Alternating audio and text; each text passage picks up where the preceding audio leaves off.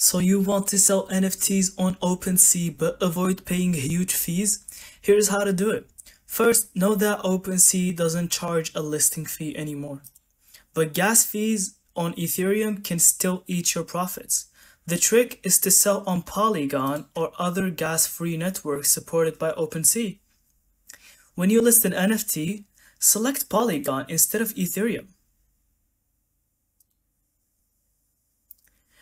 As the blockchain instead. On Polygon, you don't pay gas fees to mint or sell.